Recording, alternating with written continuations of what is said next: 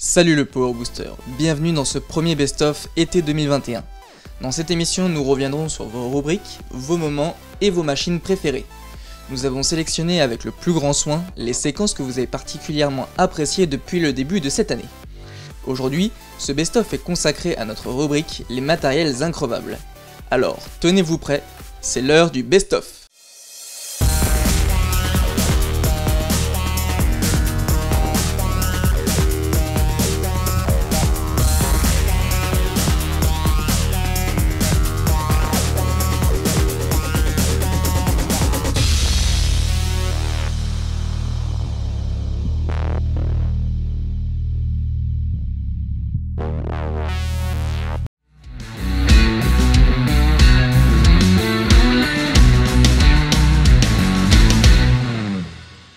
Vous ai trouvé une super moissonneuse batteuse. Bonjour Dominique.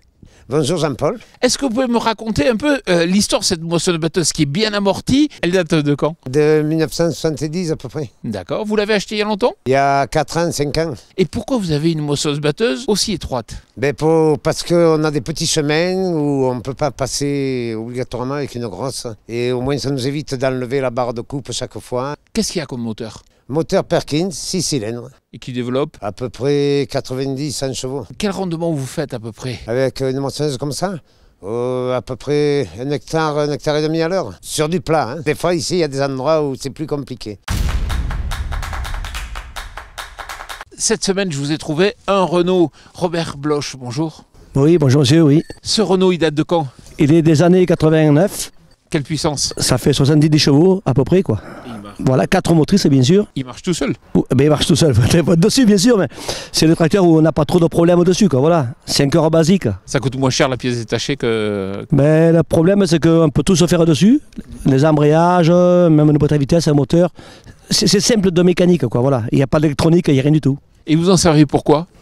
Mais maintenant, c'est plus des tracteurs secondaires. On s'en sert pour le binage d'avandin, euh, quand c'est des petites plantations. Après, c'est des tracteurs secondaires, quoi, pour le bois, pour voilà, secondaire. Pour le- les pirouettes l'été, les râteaux. Et il démarre au quart de tour? Ça démarre, ça démarre, oui, ça démarre. S'il y en a un qui a rendu de bons services et très loyaux, c'est bien ce Sommet K640. Arlette, vous l'avez acheté quand? Euh, on l'a acheté euh, au moment de l'installation et vraiment on n'avait que celui-là donc euh, il nous a vraiment rendu d'énormes services et on a vraiment fait tous les travaux avec. Quelle est sa puissance? 65 chevaux et c'est c'est un vieux tracteur qui a plus de oui plus de 30 ans je je sais pas exactement mais plus de 30 ans. Vous en servez pourquoi? Il vous rend de- des services? Ben, on le démarre euh, quand on n'a pas les autres euh, pour dépiler les bottes, euh, charger sur les brouettes et nettoyer le fumier. Il a le grappin à fumier dans les petits endroits plutôt difficiles. Et il faut intervenir souvent avec, sur le moteur, ou il marche bien Absolument pas. On tourne la clé, ça démarre. Ça, c'est jamais en panne. Le tracteur increvable de la semaine, c'est à nouveau un Renault. Didier, vous avez choisi ce Renault. Tout d'abord, vous l'avez acheté quand Oui, bonjour Jean-Paul. Je l'ai acheté euh, il y a à peu près 10 ans. Il avait 6000 heures. Je pense qu'il en a environ 9000 maintenant. Euh, c'est un tracteur des années 90. J'avais déjà un deux roues motrices, un 75-32. Donc celui-là, je crois qu'il fait à peu près 85 chevaux. Et je l'ai acheté parce que ce sont des tracteurs qui d'origine ont des vitesses assez lentes pour faire euh, des plantations, euh, plantations de tabac et de betteraves sur mon exploitation. Euh, quatre roues motrices euh, parce que ça permet d'aller plus droit et de faire des sillons euh, impeccables avec un bon chauffeur comme le mien. Après, ce sont des tracteurs très faciles à réparer. Il y a des bons moteurs, il y a un bon moteur, euh, moteur MWM. Euh, y a ce sont les premiers Renault avec des freins qui fonctionnent euh, bien, qui sont fiables, qui sont progressifs. Euh, la cabine est rudimentaire, mais il n'y a, plus de- de levier au niveau des jambes. On peut monter et descendre facilement, on peut travailler les portes ouvertes. On a monté un relevage à l'avant, euh, alors que c'est quand même assez rare sur ce genre de tracteur, donc on l'a adapté. Ça nous permet de, de monter des fois des caisses de fertilisation à l'avant. Le tracteur est très facile à réparer, euh, les pièces sont faciles à se procurer. Par exemple, là, il y a un pot d'échappement neuf, là, qui a à peine quelques semaines. Le moteur, il y a quatre euh, culasses. Si jamais il y a un souci sur une culasse, on change un joint de culasse à 20 euros. Euh, Le travail est fait en une heure. C'est un tracteur où il y a encore de la demande? Oui, oui, et d'ailleurs je suis en train de... J'ai trouvé un acquéreur pour mon 7532, mon euromotrice, une personne qui a déjà des tracteurs de cette série. Je vous ai trouvé un Zetor 7245, Jean-Michel Pousset, bonjour. Bonjour. Alors, il a une véritable histoire. Vous l'avez eu en pièces détachées, ce Zetor Voilà. Racontez-moi. Eh ben, j'ai été le chercher à une trentaine de kilomètres d'ici. J'ai trouvé ça un peu par hasard. Comme j'aime un petit peu la mécanique, donc j'ai ramené ça. Puis je me suis sali les mains en remontant ça. Puis je l'ai- équipé. Et puis depuis, bah, depuis 15 ans, il fonctionne, lui- il fait le travail qu'on lui demande sans, sans rechigner et surtout sans frais. Alors, dites-moi un peu, vous l'avez pas payé cher au départ? Non, je l'ai acheté 700 euros.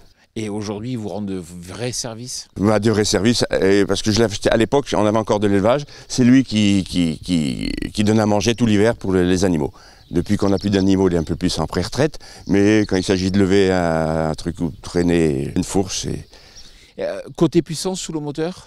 Ça fait 70 chevaux. C'est des vrais, véritables chevaux. C'est pas nerveux, il y, a pas- y a un confort euh, sommaire. Mais pour l'utilisation qu'on en a à faire, c'est parfait. et ça démarre au quart de tour. Au quart de tour, euh, jamais de soucis. On monte dessus, on tourne la clé et on part. Et combien d'heures il a à peu près Il est aux alentours de 6000 heures à peu près depuis. Là, moi, je lui ai fait faire au moins 2000 heures. Vous voulez pas le vendre Ah, surtout pas. surtout pas. Merci Jean-Michel. De rien.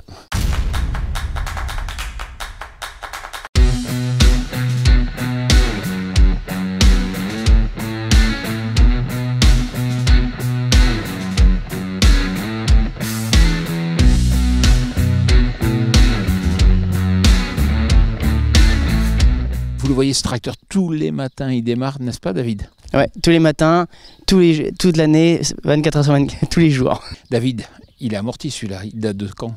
Ah, c'est un tracteur qui date des années 80. C'est un tracteur euh, américain, sous le capot, on a un moteur qui développe combien? 124 chevaux. Il y a eu des frais importants à faire dessus? On a refait le moteur une fois, mais on l'a refait euh, nous-mêmes. Pas besoin d'aller chez le concessionnaire, ça se démonte facilement. Voilà, c'est le vieux matériel, ça se répare. Et côté transmission Ah, c'était innovation, il y avait déjà une boîte semi-automatique dessus. Bon, bah, très bien. Merci beaucoup David. Alors c'est un tracteur Renault R86 de 1968 euh, qui comptabilise un peu plus de 9300 heures d'utilisation. Alors moi je l'ai acheté en 2004 lors de mon installation. Euh, racheté à mon père qui était avant moi exploitant, qui lui aussi l'a racheté à son père. C'est espèce- un espèce de relais familial, euh, il y a une histoire de cœur avec ce tracteur-là. Il est motorisé par un moteur MWM de 2 litres 6, 3 cylindres atmosphériques et il, développe, il développe 52 chevaux. Il démarre au quart de tour qu'il fasse moins 20 ou plus 40. Euh, il démarre toujours bien. C'est un tracteur qui a été le tracteur de tête de l'exploitation. Après, on lui avait mis, il était un tracteur secondaire quand euh, la ferme était encore polyculture élevage. Il avait un chargeur euh, Faucheux DIN 25. Et aujourd'hui, c'est un petit tracteur pour euh, faire des bricoles. Donc déplacer des remorques de, de semences, tout ça, c'est super pratique, c'est super maniable. Et puis on lui a trouvé une autre utilisation. Mon père, il se chauffe au bois et le gabarit du tracteur fait qu'il rentre dans une porte de garage et il rentre tout son bois dans son garage comme ça.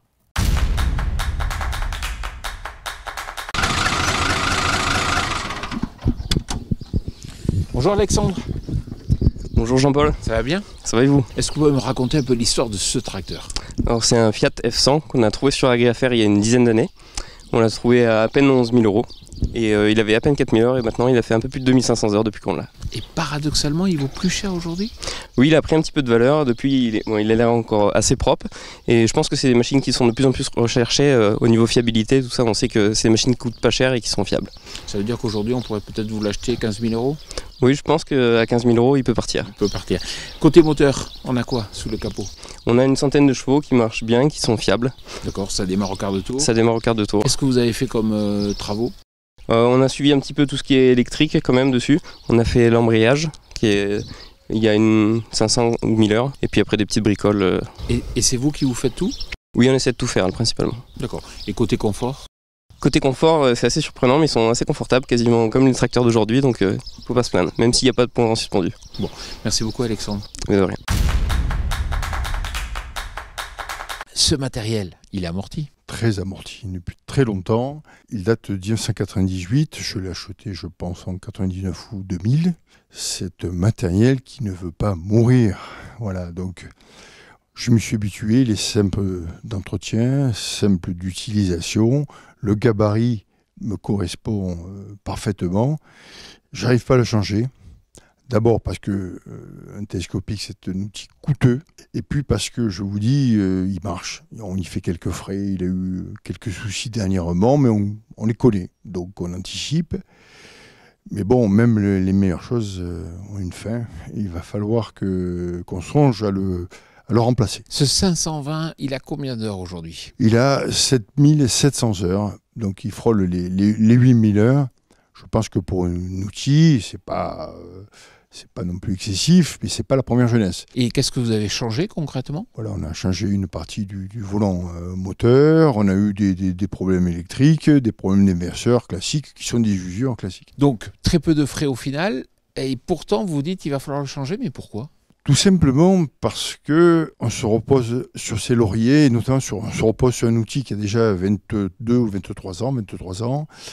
Et euh, par expérience, je sais que quand les, les- les- les outils marchent encore bien, même vieux, ils vont casser au moment où on s'en sert, on est, on est, on est obligé de s'en servir. Donc ça va être pas des périodes de fenaison où le matériel est soumis à quand même pas mal de, à pas mal d'utilisation, ce qui fait qu'il faut qu'on soit sûr qu'il tourne tout le temps. Voilà.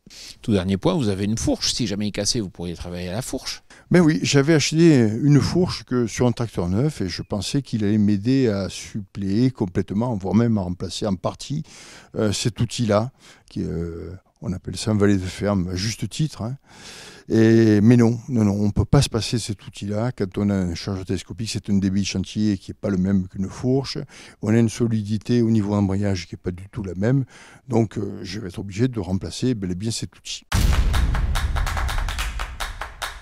Je vous ai trouvé un tracteur assez exceptionnel. Xavier Dufour, bonjour. Bonjour. Euh, Xavier, ce tracteur, il est plus vieux que toi. Oui, il a deux ans de plus que moi. Euh, il était, il m'a vu naître euh, et je l'ai toujours en pleine forme. Il est amorti. Largement amorti. Quel âge euh, il a donc? Il a 41 ans. 41 ans. Globalement, tu as fait quoi comme, comme opération récemment dessus? Est-ce que tu arrives toujours à trouver des pièces? Oui, très récemment, j'ai refait l'embrayage complet avec volant moteur compris euh, pour un prix assez, assez modique. J'ai acheté les pièces directement euh, sur Internet, directement en Tchéquie à, à la source. Et ce qui m'a permis de le, de le réparer à moindre frais et, et il est reparti pour euh, quelques années. L'avantage, c'est que tu peux tout faire. L'avantage sur ce type de machine, c'est que je, peux tout faire euh, moi-même et j'ai un salarié qui est assez compétent en mécanique euh, de base. Donc, donc on arrive à faire ça dans les temps morts, les jours où il pleut, on se met ça et en, en une journée et demie, deux jours, c'est, c'est réparé. Et tu t'en sers pourquoi ce tracteur? À celui-là, il a une vie assez facile, il fait que tirer les remorques celui-là. Il a un attelage automatique derrière pour, pour éviter de descendre du tracteur, il, il fait que ça. Sa vie, c'est ça, tirer des remorques. Bon, Xavier, longue vie à toi et à lui, bien sûr.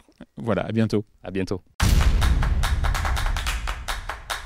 Voilà, ce premier best-of Power Boost spécial matériel increvable est terminé. Vous pouvez bien sûr retrouver l'intégralité de nos émissions sur la chaîne YouTube Power Boost. Rendez-vous la semaine prochaine pour un prochain best-of.